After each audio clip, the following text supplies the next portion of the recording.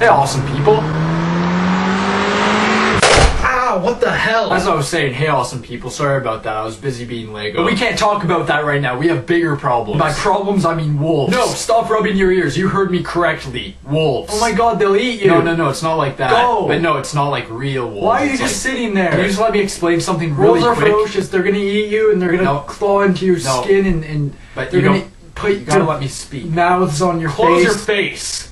Basically, what happened was I downloaded a virus by mistake, and it took every picture file on my computer and turned them into wolf pictures. Now you're probably asking yourself, he downloaded too much naked pictures and got a virus. First off, that's not a question, and second off, I don't even know what a naked is. I got the virus because I was on this website, and the website was just like, click me for a free iPad. and I was like, I'm really stupid, so I'm going to click this. and the website was just like, time to fuck up your sh- and now wolves everywhere. Now you're probably asking yourself, wolf pictures. That's not even a big deal. First off, again, that's a statement, not a question. Second off, I thought the same thing too at first. But watch what happens when I try to talk about things. Hey everyone, don't you just love trees? oh my god. so silly. So, so silly. Who would install such a virus on my computer? This is worse than the virus I have in real life where my knees are all covered in celery dip. It's called celery knee dipitis, and I know it sounds heavenly, what, with all the free celery dip and all, but it's not. I'm allergic. And people always rub their celery on my knees. Stop it! Rub your celery on someone else's knees. That's becoming my new Facebook status. All caps because I don't give a fuck. But seriously, I can't function with all these wolves all up in my grill. I need to think of a way to get rid of them. Wait. I think I have an idea. Liam Neeson, come help me fight these wolves. Okay, I guess when we doing this. Uh, right about now. Okay, bye. What? Stupid Liam Neeson always leaving before the epic wolf fight starts. I don't think that would have worked anyway. He probably would have put his face through my computer screen. Just like this guy. Ah. Go! I'm sick of this. I have to fix it, but I know nothing about computers. But I think I know someone who does. Editor. Why did I have to fire my editor? He was a genius. He could have erased this pesky wolf virus within seconds. I have to get him back, but he never told me where he went. This is a bit of a pickle, not even the delicious kind. Oh my god. I missed the editor. I missed the sound of my pen hitting him in the face. I missed the way he yelled at me when I flipped him off in between takes. But most of all,